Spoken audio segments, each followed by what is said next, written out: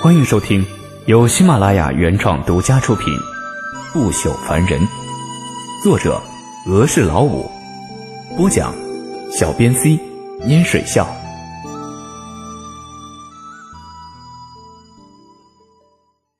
第三百一十七章散场。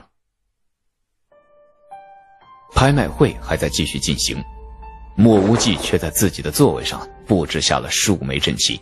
不动声色便离开了座位。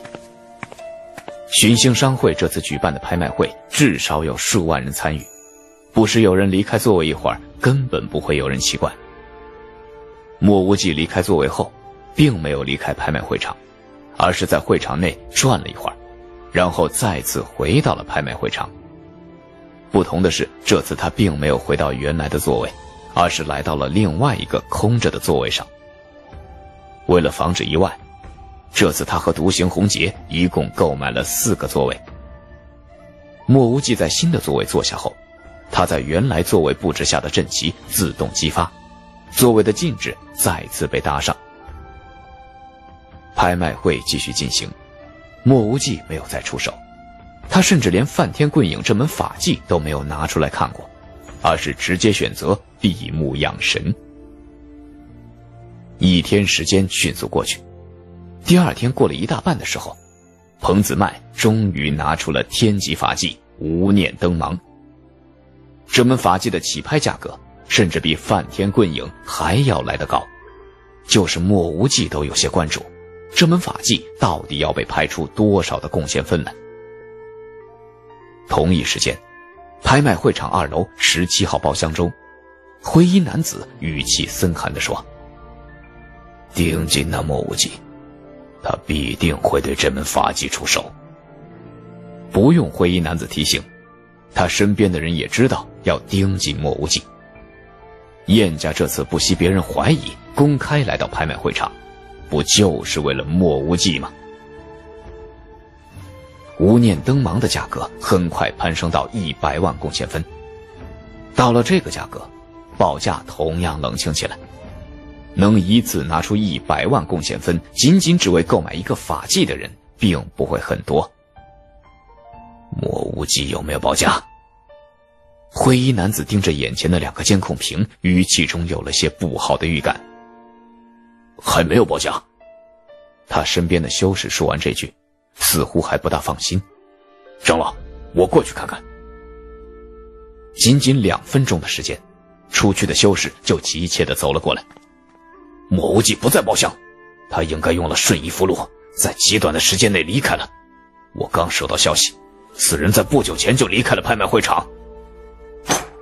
啪的一声，灰衣男子一巴掌将眼前的监控屏拍成了碎渣。立刻给我拦住星空门！公博这老匹夫，我燕家迟早会让他好看。虽然灰衣男子知道。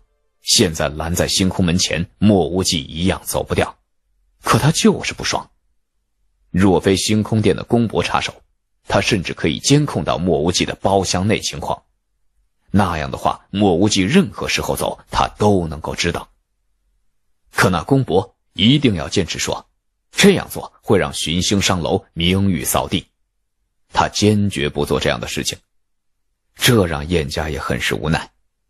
但寻星商楼毕竟不是燕家一手遮天。拍卖会已经接近尾声，当最后一件灵器被拍出之后，拍卖会彻底结束。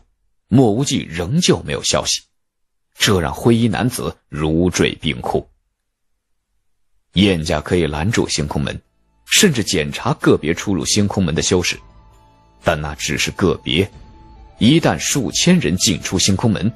燕家若敢一个个检查，那就是自寻死路。拍卖会结束，数万人同时涌出了寻星商楼。莫无忌一离开寻星商楼拍卖场，就看见了远处的独行红劫。独行红劫已经恢复了原来的样子，可见他是度过了危险期了。莫无忌放下担心，夹在众多的修士当中，直接前往星空码头。根据独行红杰的经验，每次大型拍卖会结束后，都会有数千人同时从星空码头离开，进入星空战场。当然，还有更多的人会从星空殿外离开，进入风萧城。燕家实力再大，也不敢在这么多人同时离开星空码头的时候进行盘查。更何况，他们还得守住前往风萧城的修士。可以说，在独行红杰离开燕家盯梢目光的那一刻。燕家想要抓莫无忌的计划已经告以失败。莫无忌跟随众多修士进入了星空码头，在来到星空码头三楼的时候，他看见了一个熟人——嫣儿。嫣儿正站在一名脸带纱巾的女子身边，东张西望。若是在平时，莫无忌毫不犹豫就会前去打招呼，但是现在。他若过去，就是害了对方。而且莫无忌看得出来，站在燕儿身边那名女子修为似乎不在谋兰汉之下，可见是个绝对强者。燕儿在这种强者身边，应该不会有什么事情。正如莫无忌和独行红杰预料的一样，尽管每一个星空门都有燕家的人盯着，但是燕家的人还真不敢在这时候进行盘查。莫无忌跟随众多修士一起，从七号星空门进入了浩瀚星空。一进入星空，他就直接祭出了圆形飞船，激发飞船冲入星空深处。燕儿，我们走吧，他应该不会过来了，或者说他早已从这里离开。脸带纱巾的女子看见进入星空门的人越来越少，拉着嫣儿迅速离开了三楼。这两人正是北素亭和燕儿。北素亭判断莫无忌杀了晏阳东后，会第一时间从星空码头离开，而燕家的人也会在第一时间在星空码头阻拦。他带燕儿来这儿是准备帮上莫无忌一回，结果他扑了个空，并没有看见莫无忌，也没看见燕家的人在这儿阻拦莫无忌。素婷姐，那我们现在去什么地方？燕儿问道。北素婷指了指前面的一个大殿，说：“那是星海军的地盘。之前舒玄玉统帅邀请我参加星海军，我觉得他的话有道理。我们还是参加星海军，等在星海军中获得一定的星空贡献分后，我们再进入星地山修炼。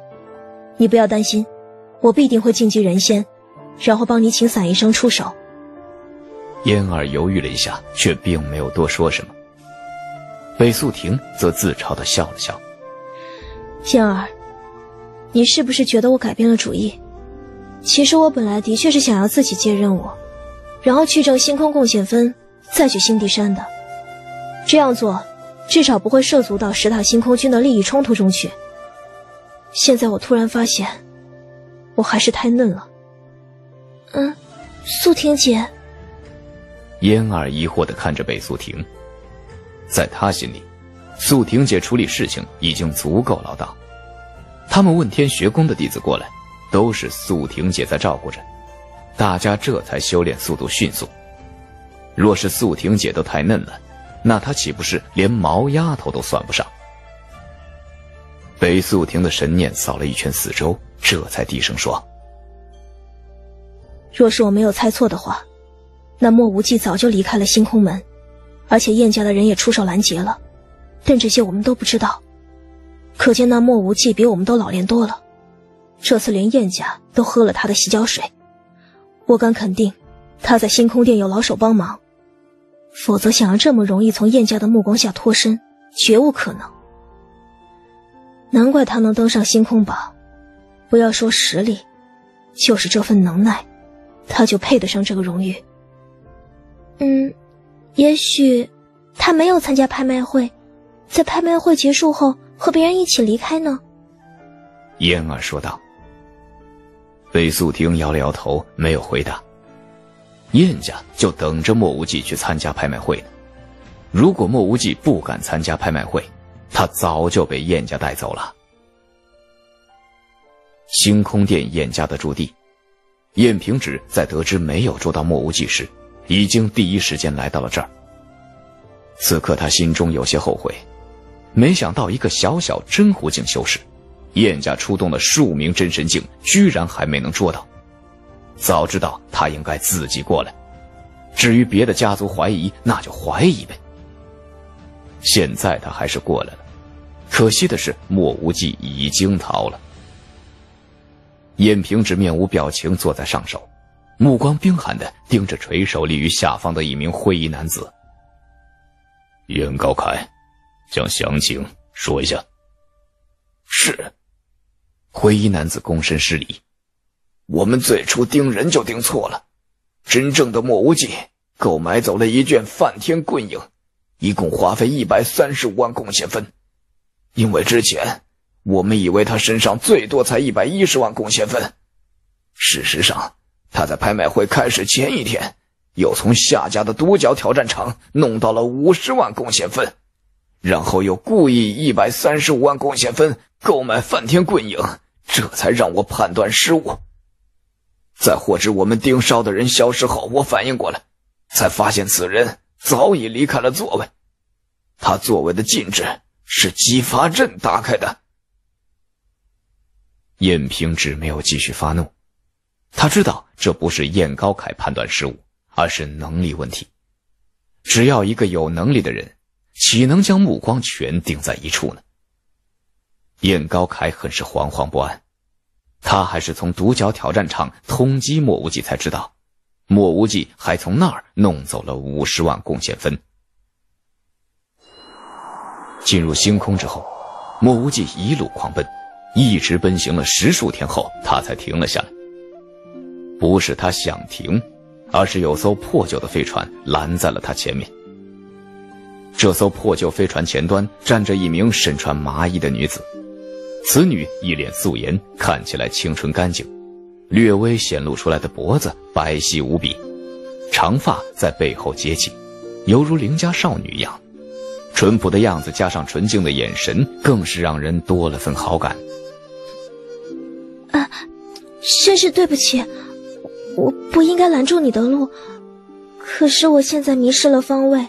飞船的静止也在星空中被破坏掉。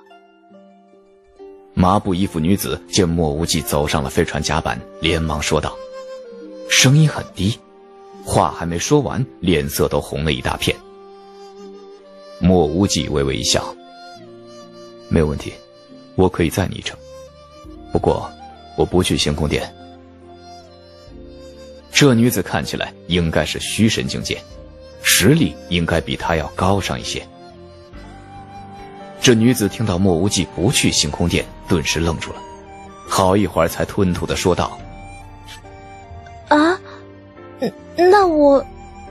刚说两个字，他自己就没了主意。不朽凡人本集播讲完毕，欢迎继续收听由小编 C 和捏水笑为您播讲的。不朽凡人，下一集。